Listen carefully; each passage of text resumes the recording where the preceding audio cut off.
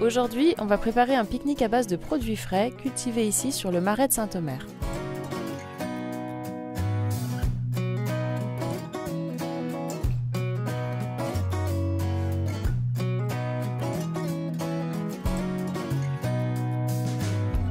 C'est ici que nous allons chercher nos légumes, chez Astrid Folandrin, maraîchère depuis 7 ans.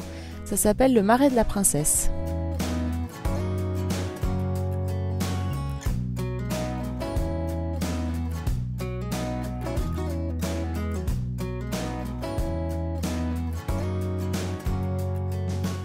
J'ai préparé une tartine de pain de campagne aux légumes de saison, donc aux légumes euh, du marais.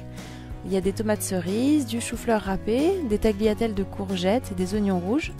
Avant de mettre les légumes, j'ai préparé euh, un fromage frais aux graines de moutarde et noix de cajou avec un petit peu de piment d'espelette et par-dessus quelques lamelles euh, de jambon sec en chiffonnade.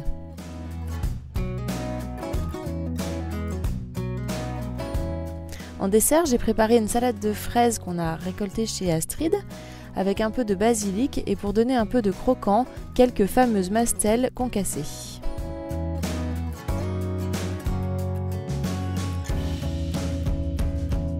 Et pour se désaltérer, une eau aromatisée avec un peu de concombre et de menthe.